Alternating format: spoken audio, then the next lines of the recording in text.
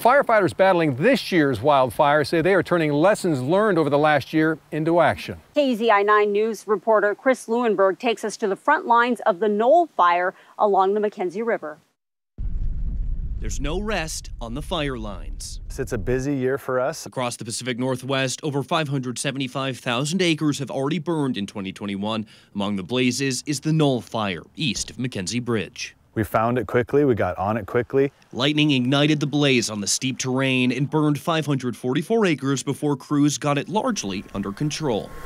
It's a real success for us to get a fire, get on it quickly, and put it out during really tough, hot weather conditions. A victory hard earned. The banks of the McKenzie look like two different worlds. On this side, green and alive, but firefighters actually used the river itself as control line, and you can see on the other bank, destruction. But on Highway 126, the scar of the Holiday Farm fire is barely in the rearview mirror, just a few dozen miles west. Gut wrenching to know it was happening and knowing that there was little that we could do. State Senator Floyd Prozanski's district encompasses the area of the Holiday Farm and Archie Creek fires, and he's eager to see lessons learned on and off the fire lines.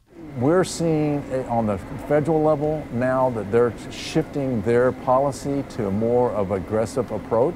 The state is taking an aggressive approach to fire prevention, too, passing a $220 million bill aimed at improving preparedness and resilience. Senate Bill 762. We're looking for what is it we can do to minimize these type of fires from occurring and also when those fires do occur what can we do to make certain we have the best uh, plan and mode of attack and officials say the Knoll fire is proof that the best mode of attack is a forceful one. We always fight fire aggressively. And though some fires burn their way into history books, this is what we do and how we do it. Fire crews will keep fighting the good fight. And I think we do it pretty well. At the Knoll fire, Chris Leuenberg, KEZI 9 News.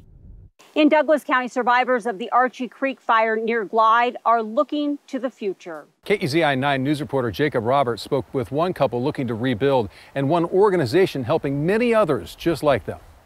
We've been here 34 years, September 1st. This month marks more than three decades in Glide for Mike and Julia Glastonbury. The couple started in a tent, upgraded to a trailer, and finally a home, which Mike built himself in less than a year. It was sort of rough times but, um, you know, we had our good food and we had warmth and people we loved, and that was the important thing. Now, 34 years later, they find themselves back in almost the same spot.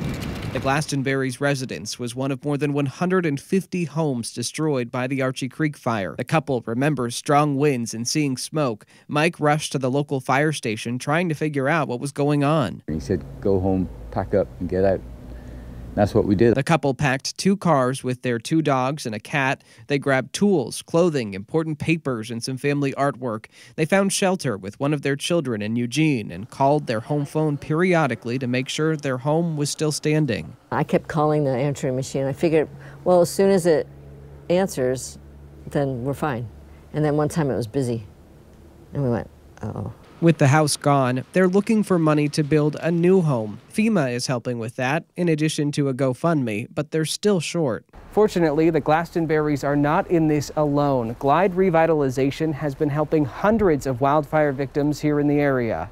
Executive Director Allison Doty said the relief organization is managing 287 cases, many of whom lost their homes. We have 154 homes that were destroyed and those 154 homes were somebody's primary residence. Doty estimates around three quarters of the fire victims want to rebuild, but some have moved on. I think the thing that has helped us is all the love, seriously, all the people that have more than came out of the woodwork and just to support us.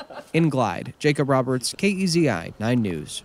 We've shown you a number of families who are back upriver living in trailers or fifth wheels while they wait to rebuild. When we come back, meet one family who has spent the last year in a hotel and some of the other struggles they've had to deal with in the past year.